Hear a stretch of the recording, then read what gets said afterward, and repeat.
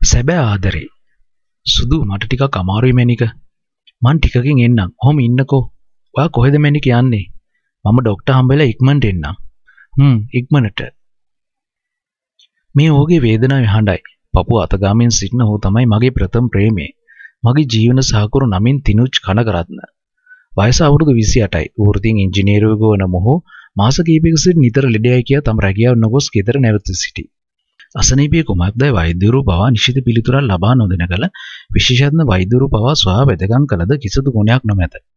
බලාපොරොත්තු අත් නොහල අප ලෝක ප්‍රසිද්ධ ලංකාවේ විශේෂඥ වෛද්‍යවරයෙකු හමුවේ ඔහු පිළිබඳ රෝගය පිළිබඳ සියලු විස්තර පැවසූ පසු මහට මහත් අපහසුතාවයක් දැන්නේ. මේ මිස් පේෂන්ගේ කවුද? වෛද්‍යවරයා මා දෙස මැලවුණු මුවින් අසන කළ මාද තිකැස්සුනි. මම පේෂන්ගේ wife. Okay, I am sorry miss මේ දේ කියන්න වෙනවට. මහට කුණාටුවක පෙරමම් බව ඉවෙන්මෙන් වැටහුණේ කුමක්කෝ බරපතල යමක් සිදුවී ඇද්දයි යන සැකේනි. ඔයාගේ හස්බන්ඩ් බයිපාස් එකක් කරන්න ඕන. එහෙම නැතිනම් තව සතියකට වඩා ජීවත් වෙන්න අමාරු වෙනවා. වෛද්‍යවරයාගේ වදන් මා කන් ළඟ අකුණක් වැඳුණක් මෙන් විය. මාත කෙනෙක්ට ඒ මට වෙනම ලෝකින් සවන් නැකණු ඉදැයි සිතමිනි. නැත, එය සැබෑවකි. විහාවියේ සිව්මසක් ඉමයාමටත් ප්‍රථම තම ජීවිතයේ පියුතුරුව පුද දුන් ඔහුගේ නිග්මයාව මා කෙසේ දරා ගන්නේද? රන්නුවෙන් දෑගිලි මැද අපි එක්ව දිවිගිමෙන්ට සෑදූ මාලිගා දෙපා මුල සුණු විසුණු වන බව මාහට දැන්නේ. ඔහු තමා වෙනුවෙන් නිර්මල හදින් පුද දුන් ආදරය, තමාගේ රැකවරණය තව දින කිහිපයකින් යලි කිසි දින පෙම්බස් දෙඩීමට නැති වේද? ඔව් මම තීරණයක් ගන්න ඕන. මගේ සුදු මහත්තයා නැතුව මට ජීවත් වෙන්න බෑ. මම මොකද දෙයිනේ කරපු වැරද්ද? මගේ ආදරේ මට ඕනෑ. මම මැරුණත් මගේ ආදරේ මැරෙන්න බෑ. මේ ලෝකේ මම නැතත් මගේ සුදු මහත්තයාගේ හදවත ගැහෙන්න ඕන. මගේ ආදරේ නැමින්. මාහට හැඬීමට කඳුළු පවා දැන් නැත. මට හැමදේම මූසල පෙනුමකින් තියෙන්නේ.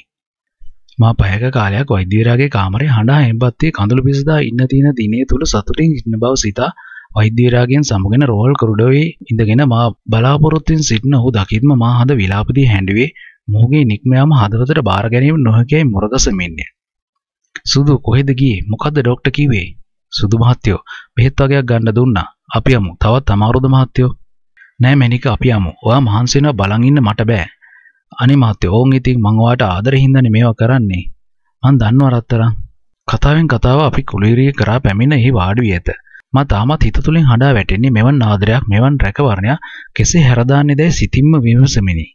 නිවසට පැමිණි මොහොතේ සිට ඔහු එනදා මෙන් නොව කල්පනා කරමින් සිටිනට මට හීල්ලීම නවතාගත නොහැක. මගේ ආදරේ මගේ පිස්සට මෙහෙම දෙයක් වෙන්න අහිංසකගේ අතින් වුණ වැරද්ද මොකද්ද දෙවියනි? මගේ මහත්තයා වෙනුවට මාව ඒ දුක් ගින්නට දාන්න බැරි වුණාද? සුදු මහත්තයාගේ වේදනාව මට දීලා එයා සතුටින් තියන්න බැරිද? එයා මේ ලෝකේ තනි කරන්න බෑ දෙවියනි. මගේ සුදුට පිස්සු ඇදෙයි. මෙරි මෙරි ජීවත් වෙයි. අනේ දෙවියනි, හොඳ මිනිසුන්ට ඉන්න දෙන්න. ඔව් මම තීරණයක් ගත්තා. සුදු මහත්තයාගේ ජීවිතේ මම බේර ගන්නවා. එයා ජීවත් වෙන්න ඕන. මගේ ආදරේ නමෙන් ඒ හදවත ගැහෙන්න ඕන. මගේ ආදරේ මැරෙන්න දෙන්නේ නැහැ. මම රකින්නවා. තප්පර මිනිත්තු පැය දින ගෙවිලා ගිහින්. එයාගේ ඔපරේෂන් එක වෙන දවස උදා වුණා. එයා කැමතින් මගේ ලාකහපාට දිග ගවම ඇඳගෙන ට්‍රොලියක් තල්ලු කරගෙන එයාව පේන්න එයා ළඟට ගියා. මගේ හදවත කඩුවකින් සිදුරු කරනවා මෙන් වේදනාවක් දැන්නා. සුදු මම ඔයා දාලා යන්නේ මම එනකම් මගේ මැනික නාඩා ඉන්න. ඔයාගේ සුදු මහත්තයා කොහෙවත් යන්නේ නැහැ.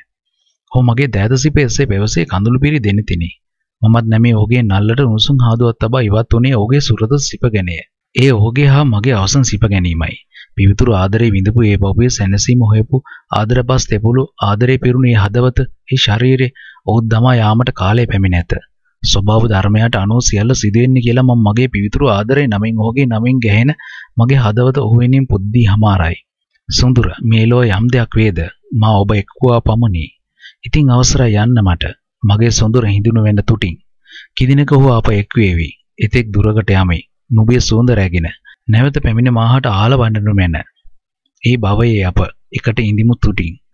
යන්න යමි මේ භවයේ නික්ම. සැබ ආදරයේ සුවඳ නුඹ ළඟ තියා.